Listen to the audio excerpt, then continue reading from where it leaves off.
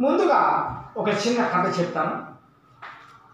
దదీచి మహాతపస్య చవన మహర్షి పుత్రుడు. ఒకప్పుడు రాక్షసులు దేవతల అస్త్రాలను గుంజుకుంటుండగా వాటిని దాచిపెట్టమని దదీతికి దేవతలు ఇచ్చిపోయారు. కానీ ఎంతకాలమైనా వారు రాకపోయేసరికి దదీచి వారి అస్త్రాలను నీరుగా మార్చి తాగాడు. అటు తర్వాత దేవతలు వచ్చారు. మా అస్త్రాలు మాకు ఇమ్మన్నారు అప్పుడు ఆ అస్త్రాలు తన ఎముకలకు పట్టి ఉన్నందువల్ల యోగాకులో తన శరీరాన్ని దహించుకొని అస్థికలను తీసుకోమన్నాడు. అట్లా దదీచి ఎముకల నుండి ఇంద్రుని వజ్రాయుధం రూపొందింది. ఇక్కడ ఈ దదీచి అనేటువంటి ఆయన మంచి తపస్సు కలిగినటువంటి వాడు చహన మహర్షి పుత్రుడు అయినటువంటి ఆయన. దేవతలు ఒకసారి వాళ్ళకి అస్త్రాలు ఇచ్చారు. అస్త్రాలను దాచిపెట్టమన్నారు. చాలా కాలం రాలేదు కానీ నీళ్ళలాగా తాగేయడం జరిగింది. తన ఒంట్లోని ఎముకలకు అవన్నీ పట్టిపోయాయి. ఆయన అస్త్రం మళ్ళీ మాకు ఇమ్మని అడిగారు. వేరే ఏం లేదు.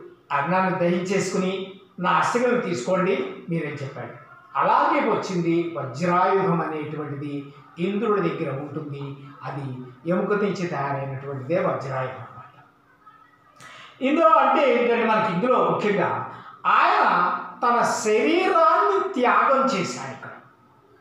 ఆ దేవతల యొక్క అస్త్రాలను వెనక్కి ఇవ్వడం కోసం తన శరీరాన్ని త్యాగం చేశాడు. ఆ రకంగానే ఎముకలు వచ్చాయి వాళ్ళ వాళ్ళ అస్త్రాలు వాళ్ళు తీసుకోవడం జరిగిందన్నమాట. ఇక పాఠం ఏమిటి ఎందులోకి పెడుతున్నాము తర్వాత చెప్తాం. పూర్వకాలంలో శిబి అనేటువంటి ఒక చక్రవర్తి ఉండేవాడు. ఆయన భృగుతుంగ పర్వతంపై యజ్ఞం చేశాడు. రాజులు పూర్వకాలంలో రాజులు యజ్ఞాలు చేయడం పరిపాటి. అలా చేస్తున్న సందర్భంగా ఇంద్రుడు అగ్నిదేవుడు శివ చక్రవర్తి యొక్క గుడగడాలను పరిశీలించాలని చెప్పి వాళ్ళు కింది దేవతాలోకం నుంచి వచ్చారు. అగ్నేమో పావురం రూపంగా మారాడు. ఇంద్రుడు డ్యాగ రూపంలోకి మారాడు. డ్యాగ్ అంటే భయంతో పౌరం శిబి చక్రవర్తి వద్దకు వచ్చి శరణు వేడుకు వేడింది. డ్యాగ్ అంటే పావురానికి భయం. కాబట్టి యజ్ఞం చేసుకునేటువంటి ఆ మహారాజు దగ్గరికి వెళ్ళి శరణు కోరిందనమాట ఈ డ్యాగ్. ఈ రకంగా శిబి చక్రవర్తి తన యొక్క త్యాగ గుణాన్ని తెలియజేస్తున్నాడు తెలి తెలిపేటువంటిది ఈ పాఠం. ఇది త్యాగ నిరతి అనేటువంటి పాఠానికి సంబంధించిన ఈ ఈ విషయము త్యాగ నిరతి అనే పాఠానికి సంబంధించింది. దీన్ని రచ రచించిన కవి నాన్నయ్య. దీన్ని రచించిన కవి నన్నయ్య అన్నమాట. ఇక ఈ నన్నయ్య మనకి సంబంధించి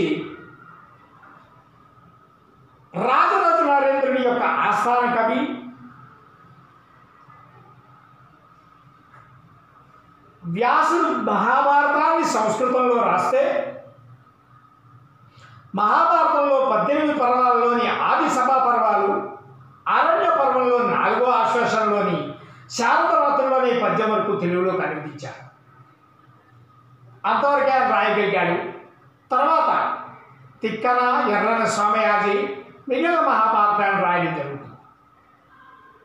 ఈయన ఆంధ్ర శబ్ద చింతామణి అనేటువంటి ఒక గ్రంథాన్ని కూడా రాయడం జరిగిందనమాట ఆంధ్ర శబ్ద చింతామణి అనేటువంటి గ్రంథాన్ని కూడా రాశాడనమాట ఇక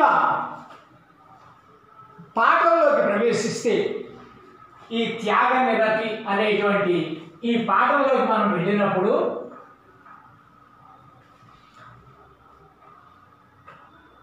ప్రాచీన సాహిత్యంలో నైతిక విలువలకు ఎంతో ప్రాధాన్యం ఉన్నది.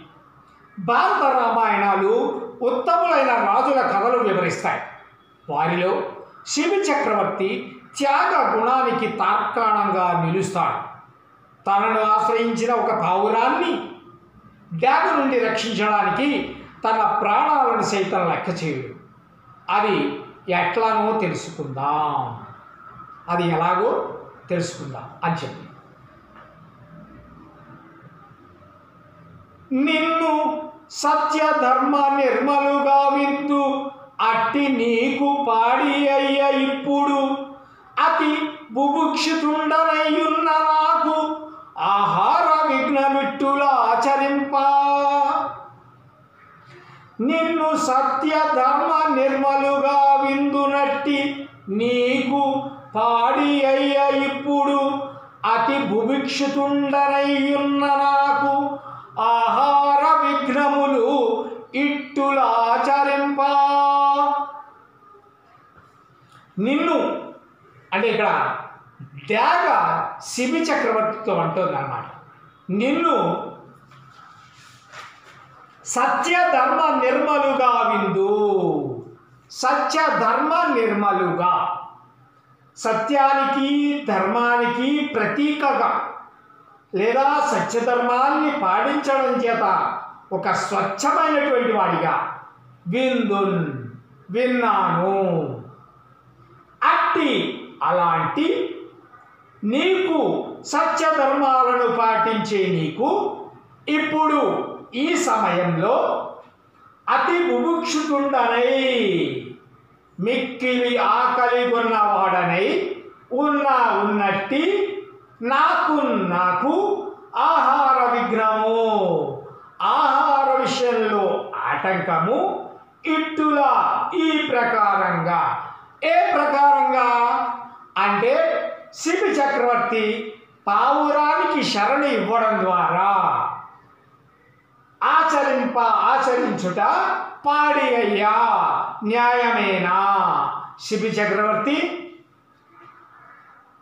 శిబి చక్రవర్తితోటి నువ్వు చాలా గొప్పవాడివి సత్యధర్మాలను ఆచరించేటువంటి వాడివి అని నేను విన్నాను. అలాంటి సత్యధర్మాలను ఆచరించేటువంటి నువ్వు మిక్కిలి ఆకలితో ఉన్న నాకు ఆహారం విషయంలో ఆటంకం కలిగించడం అనేటువంటిది న్యాయమా? అనేటువంటిది లేక శిబి చక్రవర్తిని ప్రశ్నించింది ఈ మొదటి పద్యంలో.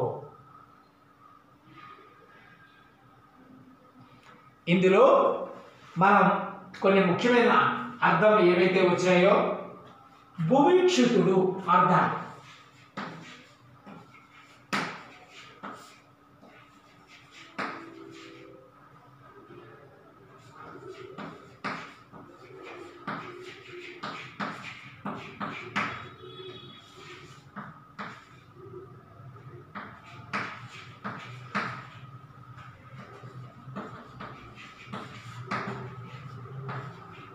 ఆకలిగా ఉన్నవాడు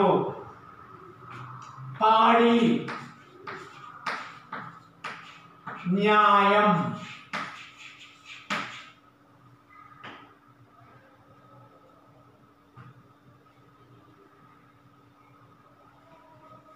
ఇవి మనం ఇందులో ఈ పద్యంలో ఉన్నటువంటి రెండు ముఖ్యమైన అర్థాలు మాత్రమే తీసుకున్నాము.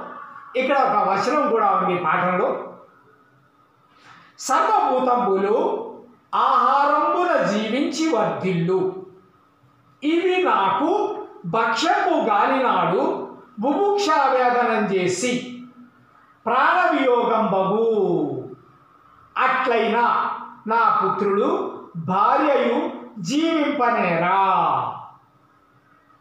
ఒక్క కపోతము రక్షించి పెక్కు జీవులకు హింస చేయుట ధర్మ విరోధంబు అది ఇక్కడ త్యాగ శిబి చక్రవర్తితో అంటుందన్నమాట. సర్వభూతంబులు సర్వప్రాణులు ఆహారంబున జీవించి వర్ధిల్లు. ఆహారాన్ని తినడం ద్వారానే జీవిస్తుంటాయి. ఇది నాకు. ఈ పావురం నాకు భక్ష్యము కానినాడు. తినడానికి వీలు లేని పక్షంలో బుభుక్షావేదనం చేసి ఆకలితో ఉండి ప్రాణవియోగం బగు. ప్రాణాలను విడిచిపెట్టవలసి వస్తుంది. అట్లయినా అలా జరిగినట్లయితే నా పుత్రులు భార్యయు జీవింపనేరా. అలా నేను కనుక మరణిస్తే నా కుమారులు బ్రతికి ఉండరు మరియు నా భార్య కూడా మరణిస్తుంది బతికి ఉండదు. ఒక్క కపోతంబు రక్షించి అంటే ఒక పావురాన్ని రక్షించడం ద్వారా పెక్కు జీవులకు అనేక ప్రాణులకు హింస చేయుట హింసించుట ధర్మ విరోధంబో ధర్మానికి విరుద్ధము. కేవలం ఒక ప్రాణం కోసం ఒక ప్రాణి కోసం ఒక పావురం కోసం అనేక ప్రాణులను బాధ పెట్టడం అనేక ప్రాణులు ఎవరు? ఇక్కడ డేగ డేగ యొక్క కుమారుడు డేగకు సంబంధించిన భార్య. వీళ్ళందరూ కూడా మరణించడం జరుగుతుంది. కాబట్టి ఇది న్యాయం కాదు. ఒక్క ప్రాణం కోసం ఇన్ని ప్రాణాలను బాధ పెట్టడం భావ్యం కాదు ప్రాణులను బాధ పెట్టడం భ్రావ్యం కాదు భావ్యం కాదు అని చెప్పి చెప్పడం జరిగింది. ఇది ధర్మ విరోధం ధర్మానికి విరుద్ధము అని చెప్పింది ఇక్కడ భూతములు భూతములు అంటే ప్రాణులు.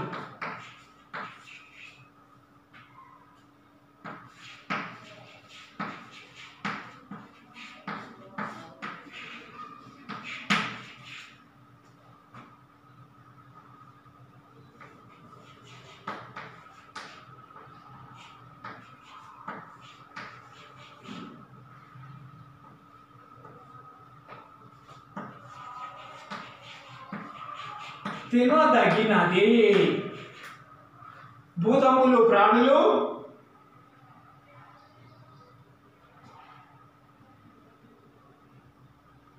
అది.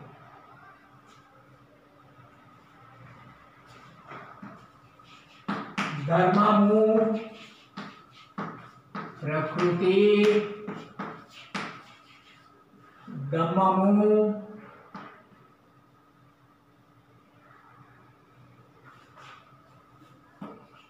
దమ్మము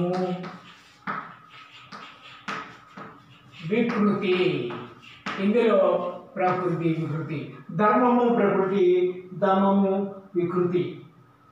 తర్వాత నెక్స్ట్ మనము ఇంకొక పద్యంలో పెడుతున్నాం ధర్మజ్ఞులైన పురుషులు ధర్మువునకు బాధ చేయు ధర్మువునైన ధర్మముగా మది తలపరు. ధర్మువు సర్వంబునకు హితంబుగవలయున్ ధర్మజ్ఞులైన పురుషులు ధర్మము తెలిసిన వారైనటువంటి మానవులు ధర్మమునకు ధర్మమునకు బాధ చేయు కీడు కలిగించేటువంటి ధర్మమునైన ధర్మాన్ని అయినప్పటికీ కూడా ధర్మముగా ధర్మముగా మది మనసులో తలపరు తలపరు. ధర్మము ఈ ధర్మం అనేది సర్వంబునకు అన్నిటికీ హితంబుగా మేలును కలిగించినదిగా వలయున్ ఉండాలి. అంటే ధర్మం మీద ఈ పద్యాన్ని చెప్పాడు. ఇందులో ధర్మము ధర్మజ్ఞులు ధర్మము ఈ పదాలే మనకి బాగా వచ్చేటాయి. వచ్చాయి.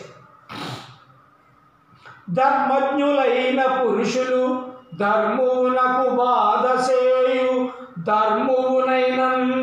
ధర్మముగా మది తలపరు. ధర్మువు సర్వంబునకు హితంబుగవలయున్ అంటే ధర్మం తెలిసిన వారు ధర్మానికి కీడు కలిగించే ఎలాంటి ధర్మాన్ని అయినను ధర్మమని మనసులో భావించరు. ధర్మం అనేది అన్నింటికి మేలును కలిగించేదిగానే ఉండాలి.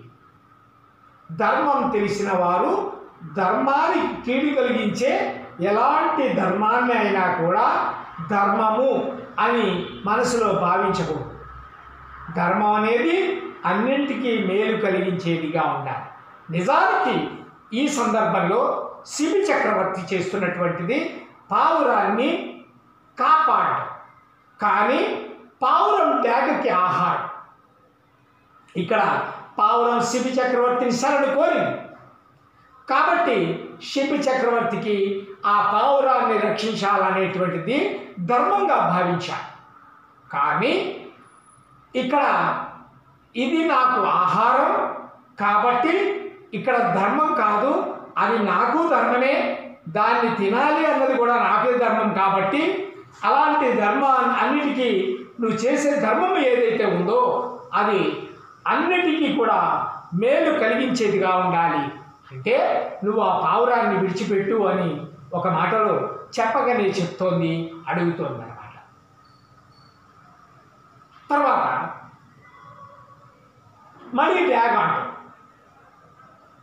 ఈ కపోతంబు ఈ పావురము నాకు వేద విహితంబైన ఆహారంబు నాకు నాకు వేద విహితంబైన వేదాల చేత చెప్పబడినటువంటి వేదాలలో చెప్పబడినటువంటి ఆహారము ఆహారము.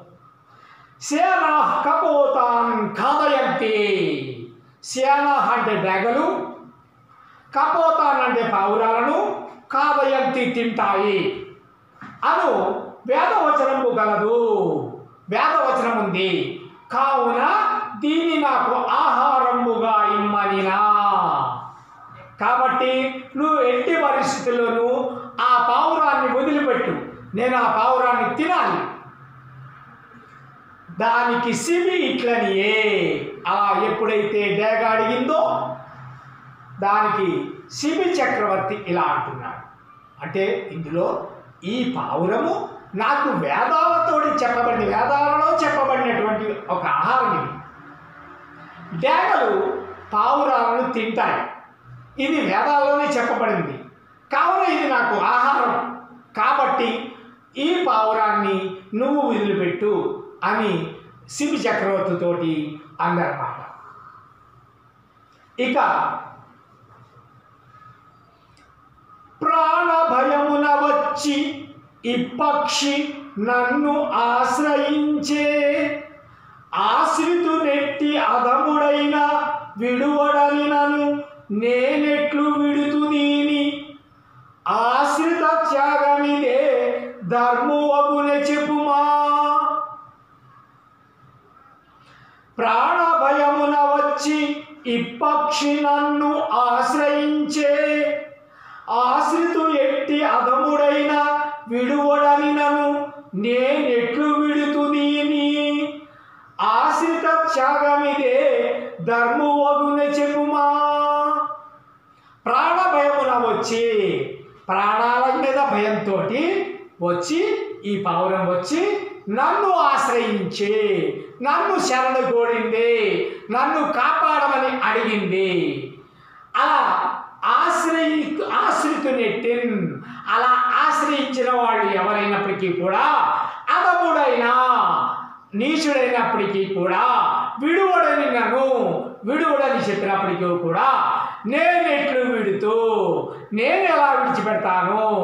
అంటే శరణాలను కోరిన వారిని రక్షించాలి విడిచిపెట్టకూడదు. ముఖ్యంగా అతముడు అయినటువంటి వాడు కూడా నీచుడైనటువంటి వాడే కూడా విడిచిపెట్టడు. అలాంటిది ఒక రాజునైన నేను దీనిని ఎలా విడిచిపెడతాను? ఆశ్రిత త్యాగమిది ధర్మవగునే చెప్పుమా? ఆశ్రిత త్యాగమిది అంటే ఆశ్రిత త్యాగము ఆశ్రయం పొందిన పావురాన్ని వదలడం. ఆశ్రయం పొందిన పావురాన్ని వదలడం అనేటువంటి ఏదైతే ఉందో ధర్మం అగునే చెప్పుమా? ధర్మం అవుతుందా? చెప్పు. అని చెప్పి అడిగిందన్నమాట ప్రాణభయంతో వచ్చిన ఈ పావురం నన్ను ఆశ్రయించి ఎలాంటి నీచుడైనా కాపాడము అని వచ్చి ఆశ్రయం పొందిన వాడిని వదిలిపెట్టాడు. అలాంటప్పుడు నేను ఈ పావురాన్ని ఎ- ఎలా వదిలిపెడతాను? నేను ఎట్లు పావురాన్ని వదిలిపెడతాను? ఆశ్రయించిన వాడిని వదులుట ధర్మం ఎట్లా అవుతుందో నీవే చెప్పు.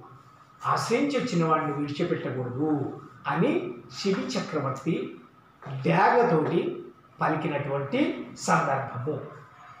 ఇక్కడ మనము ఇందులో ఉన్నటువంటి కొన్ని అర్థాలను కూడా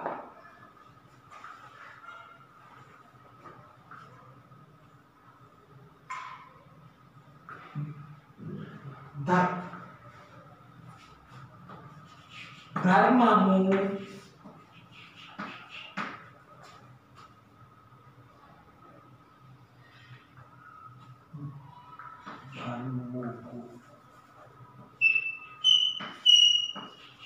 ధర్మము సందులు ఇందులో మనకి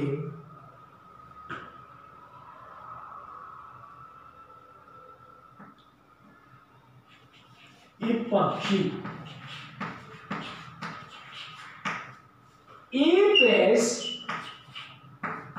పక్షి త్రిక సంధి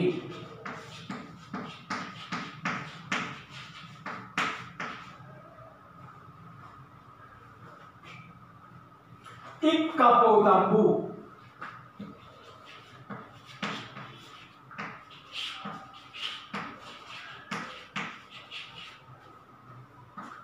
ఈ ప్లేస్ కపోతంబు త్రిక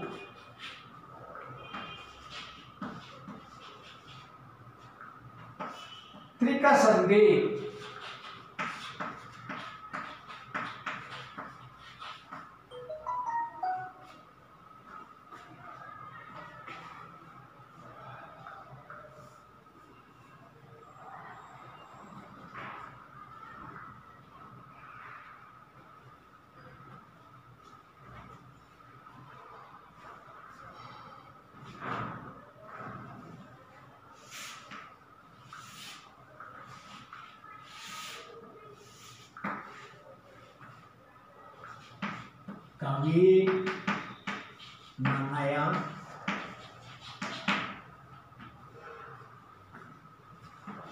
బిరుదు వాదను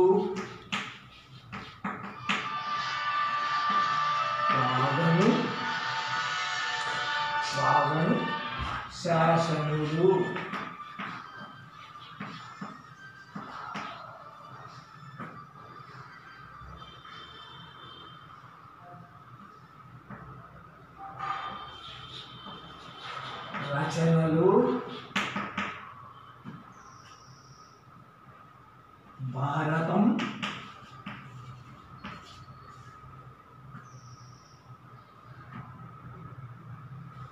ఆంధ్ర శబ్ద చింతామణి.